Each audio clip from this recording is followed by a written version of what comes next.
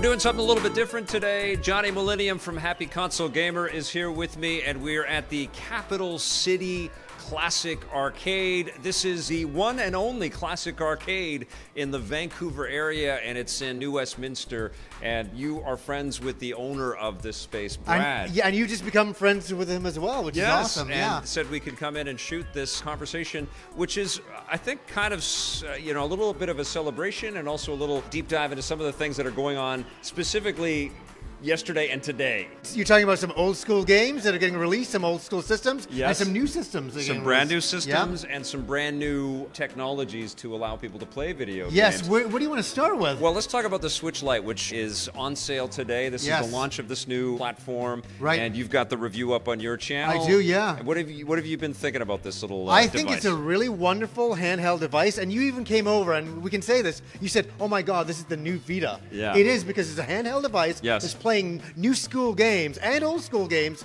right there in a portable machine. Really connects well. I mean, it feels very solid. It's not like the Switch where you can can feel the Joy Cons a little loose. This one's very sturdy. I was really surprised at how comfortable it feels in your hand right away, and how different it feels from the other Switch that we Oh, know and love. Right? Yeah. It's it is this all-in-one new portable kind of solution from Nintendo. Right, with some brand new features added in there. The D-pad is absolutely awesome. It's got a smaller vents on the side. Yep. It has a smaller screen, and a lot of people will be like, "Oh man, I don't know if I like the screen Yeah. because it's smaller." And then you start playing it, and you said it the best. It looks a little bit more high res because it's smaller. Yeah. I, that's true. That's what you thought. Well, I think it has the same resolution spec, but the pixel density is a little tighter, Yes. so everything sort of looks a little like it sort of pops off the screen in, in, a, in a way. Now you're dealing with less screen real estate, so maybe you're not going to see every single detail that you would on a larger Right. handheld current Switch model. Right. But it still looks pretty damn good. And the other thing that we tested out too was uh, logging into your account on both your existing, Right. your old Switch and your new Switch. So I had both accounts logged in. Yeah. You were playing Astral Chain. Yes. And then all of a sudden I started playing like King of Fighters, which is perfect for this place. Yeah. I started playing the King of Fighters, and it logged you out. Yeah, because the way that it is right now, and I think presumably Nintendo is going to make some alterations with this, but you can have the same account on two Switches. It asks Yes. you as you're loading up the software whether you want to attach it to an existing Nintendo account. So you can do that, and you can download every game that you have on your existing Switch onto the Switch Lite. Yeah. And you can play them at the same time.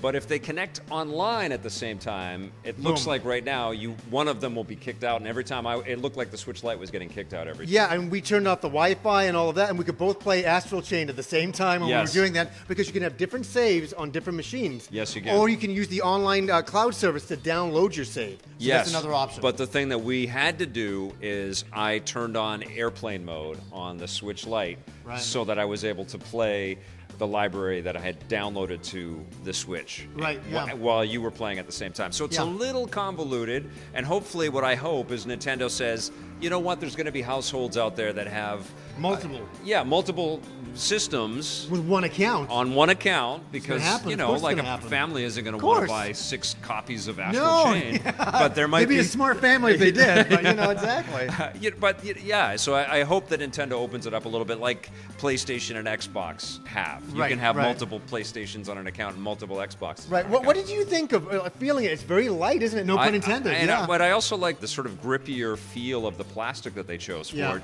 It feels like a different platform than Right. the existing Switch. It, Yeah. it does feel like it's in the family, but it feels like a different machine. It I- I- feels a lot more like a, It's so a, a DS or a 3DS. Exactly. I was Yeah. just about to say, it's so silly to say. It's so obvious of what it is, but it's a handheld. We can't stress that enough. Yeah. It's a handheld. It's Nintendo's new handheld. It's weird that it's called the Switch, though. It is because it doesn't It- switch. it does not switch. That's what I said in my Nintendo Direct. Uh, But my reaction. prediction is that somewhere, somebody in some lab right now is working on some USB to HDMI conversion so that through Oh, the do power. I, I- don't know. I mean, Nintendo would have to open up this software capabilities to allow Right. people to do that, but something tells me someone's going to figure out some kind of port that you'll be able to put the Switch Lite And, on. and do you know what I was saying? Yeah. You know what's going to come next year, and the year after, and the year after that. it's going to be a Nintendo Lite XL, Yes. an XL with a better screen. I mean, it's just going to keep on coming. This is the beginning, folks. It's the beginning. I, I do see the um, the attraction of a device like this. You know, I would hate to damage my larger Switch anywhere out there, Right. and the idea of having one that's a little bit more pocketable, especially if I'm on a long flight or a long train trip or something like that, the Switch Lite does seem It can- incredibly yeah, enticing. Yeah, we just got to get a, a nice uh, cover for it to Yeah. take with you. That's a very important thing because it's portable. Yeah. It's not just sitting in a dock. Yes. It has to sit somewhere. You don't want to scratch that screen. But Nintendo really has to make this, uh, you know, that you can play in the household on the same game. And let's like, I, my- my daughter wants a Switch of her own, so it'd be rad for me to be able to say, well, play with the uh, the Switch Lite, and Yeah. let's play a game together off of my account without something crashing. Nintendo's got to figure And that that, that's out. a good segue into talking about this. Link's Awakening. Yeah. You and your daughter have been playing this. What's that experience like? Uh, tell me about that. It has been phenomenal to see my daughter Ruby become such a an avid fan of video games, but not to the obsessive point. Oh, I- no, not as obsessive as your she's, father. She's not me, Yeah. which is great. She has her own way in, and she's loving them, and she's loving, you know, that she's finding her favorites, and and uh, What she, are her favorites? she loves Zelda. Like Zelda, we, we built right. Breath, of the, we we beat Breath of the Wild and Twilight Princess, and now we've be, beat Link's Awakening together. And she's she is a real aficionado for this, and she helps me solve the puzzles in the game. She's always saying, "Go over there, go over there." Go. She she says, uh, "Go over there." She has Go over over there, there, and go she, there. and she's making the voice and being Yeah, funny. yeah, but yeah, I, I always say it just sounds hilarious. Go over there. So- over there, Dad. Okay, we got to have Ruby's top five Zelda games. No, what's her favorite Zelda game? Oh, of all she time? she her favorite game of all time is Breath of the Wild. Oh, isn't that cool? But she loved that Gris. cool? We played Gris together, and Yeah. and, yeah, she is, uh, or Gree. She Yeah. she is, uh, it, uh, you know, she's totally into it. She's loving Astral Chain as well. She really, What? yeah, she thinks it's incredible. Yeah. Wow, what does she think of all the imagery? It's insanity. Oh, she, game. she loves it, man. That's great. That's Yeah, really she, a lot of she- fun. She will be a future host of EP My- I'm- if she wants to be. Yes. Yeah. Oh my! Imagine she just takes over. That'd be that'd be amazing. You know what I appreciate too about about uh, Ruby is that she doesn't have any uh, uh, predispositions or any, uh, you know, Past. yeah, she's not going to say no. I don't want to look into the into the history of video games. She she doesn't poo-poo the concept of me putting on a Sega Genesis game or a Super Nintendo. It's all She- it's all fun for her. it's all interesting. Yeah, and, and I, it should be. And uh, you know, obviously, the other big story that uh, we've covered extensively on EPN is the Sega? Genesis Mini. yeah, you I, really have you covered this on your channel, Vic? I've been all over your channel. I've never seen one video about the Sega Genesis Mini. Not one. Definitely not ten. Listen, they sent it to us a month ago, Sega. Uh, thank you, Sega. And, Sent and one too, yeah. and it's it's an interesting product It because is. uh, you know it dives into a whole history of this machine. Clearly, one that we grew up with at that yeah, time. We sure did. And yeah. they did a great job with putting it all together. And because we had so much time with it, there was lots of time to kind of plan, you know, stories and, and conversations about Yeah, this stuff. yeah. Now, I said my 10 least favorite games Oh, and my 10 suggestions. this. Did you have games that you think that shouldn't have been on the, the Sega Genesis Mini? Um, I haven't made it. I haven't made an extensive list. You're putting me on the spot right now. I know. We're gonna put it back to you. We're just going to get flipped right back to this guy. Listen to this, Strider. I know, I got a lot of heat. I got a lot of heat. There's probably a Strider machine in here right Uh, now. this is I'm the getting a lot of these from people out there. known to mankind. We have to have this out. Listen to me. We're going to talk about this right now. Okay. Okay. I love the art of Strider. Well, that, that's really Uh, good. It's, So, it's yeah. a beautiful game and it's a cool game.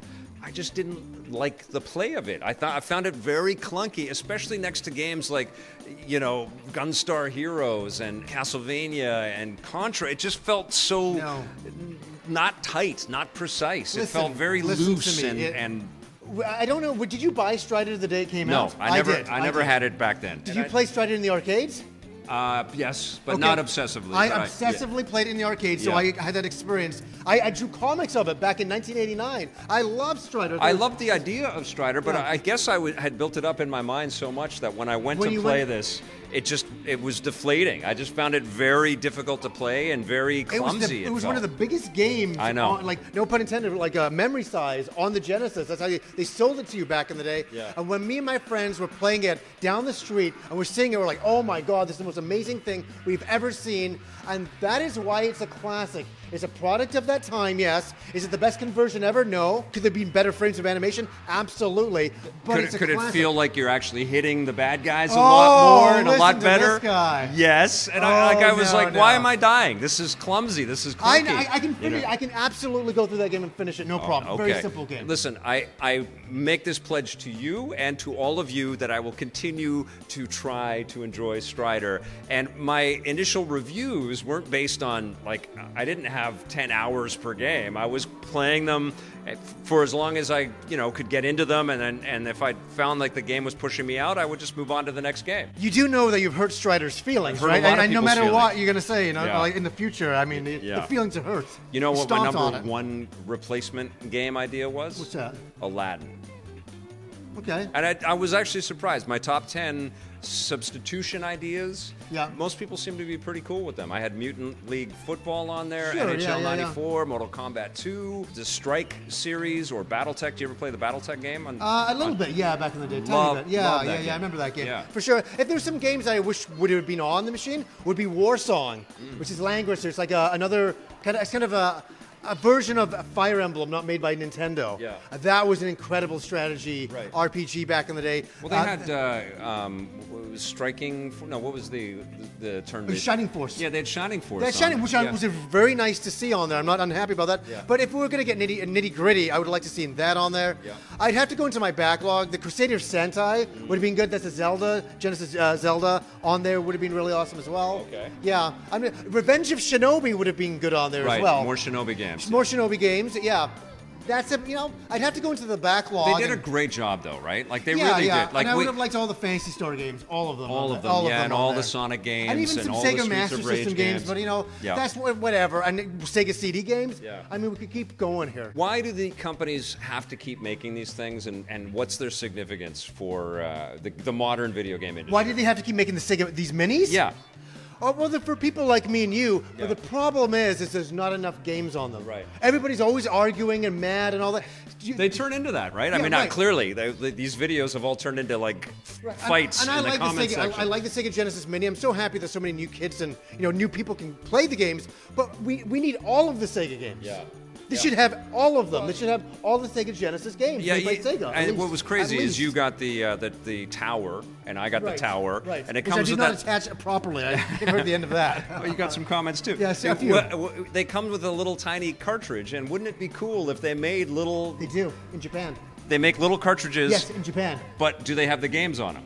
Well, no, they don't have the games on. We, uh, this is what we mean. You were talking about. If you bought Yeah. that Sega CD, Wait, wouldn't it mini be cool? attachment. Yeah, wouldn't that be Yeah, you put it in, and you got Lunar in there, Yeah. and Sewer Shark, and all, all in stuff. scale models of them. Right. They could have created a whole new physical, you know, sort of thing for the and then you get the 32X. You put that in there. It's got all the 32X games. I mean, Crazy, it- I know, I know. We, we should have done this stuff, but there should be more games on these machines. That's all I'm saying. Yeah, or some kind of digital store option. There's no reason why Sega could not have all of their backlog games on there. Well, Every- it's every- the it's the licensing I'm getting M2 to get to every damn game out there. and the third-party sure. Do deals. you know what I'm hearing? Yeah. You want to hear something interesting? It's kind of breaking news before I left the house. Yeah. Saw on Twitter that a lot of people are getting the Sega Genesis Mini now, and there's no sound problems or you know delay input. Nobody's seeing it. And some people are saying they fixed it before the release from the Oh, reviewers. could have. I don't know. I'm Yeah. not, it's not proven. Could have. That was on Twitter before I left. I mean, I, I'm not the meticulous digital foundry. Neither am I. Right? So when I played it, it was like, this is great. I'm This having is, fun. Yeah, this Yeah. really kind of evokes all of my memories Yeah. and everything like that. But uh,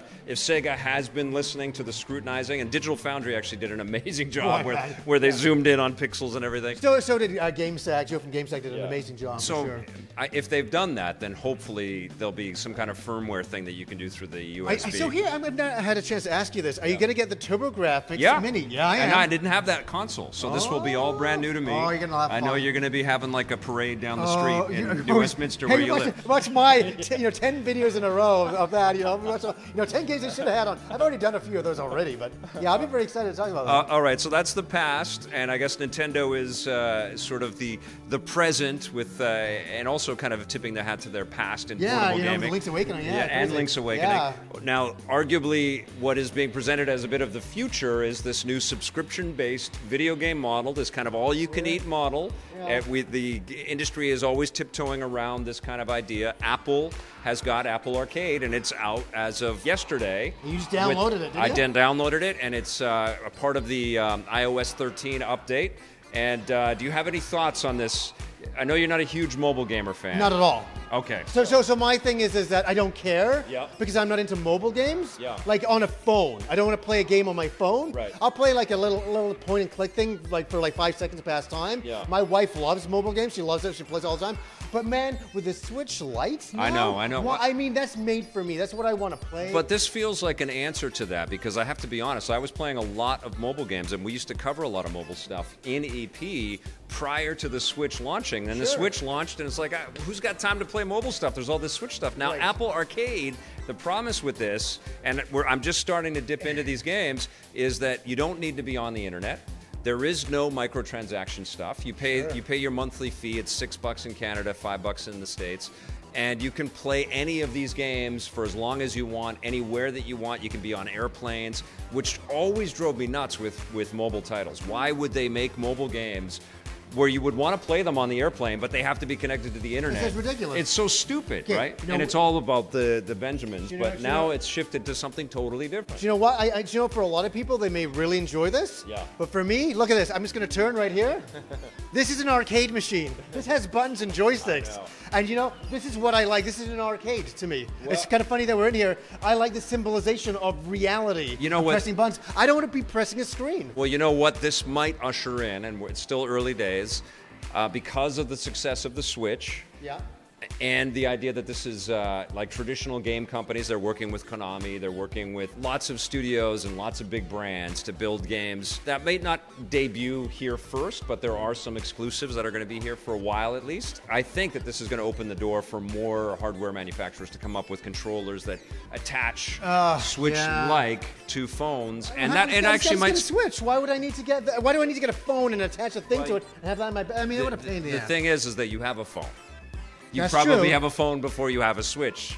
I understand A- that. And So some that- of these games could be as good as some Switch games. So that's how they're going to make money. I Yeah, get it. I'm, yeah. I'm not against them making money. I get how they're going to make it. Yeah. I'm just not going to play it. I'm not interested at all. Okay. I am. All right. Okay. Yeah. Well, we will definitely check back on all of that. Sure, But, yeah. Uh, I guess that's a, a kind of a state of affairs in the video game space. Yeah. Now, how do you feel about us playing a little bit of? Oh, uh, let's get on with it. classic Absolutely. arcade I have to game. kick Vic's ass and Mark of the Wolves. It's going to happen. I wore my Geese Howard uh, sweatshirt for this uh, on purpose. Okay, I will let you kick my ass.